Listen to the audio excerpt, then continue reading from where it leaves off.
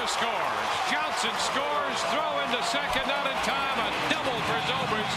And the Rays break out to a 2 to nothing lead in the fifth.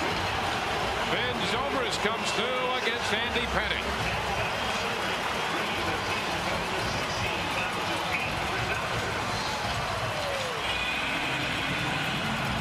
Now, Andy Pettitte had done a lot of work to put him in a position to get out of that inning unscathed.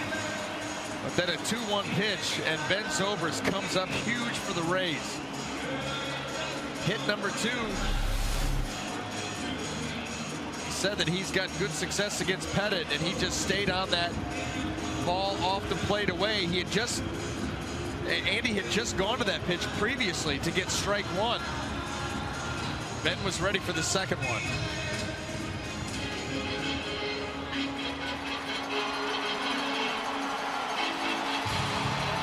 Ben in with his fifth double.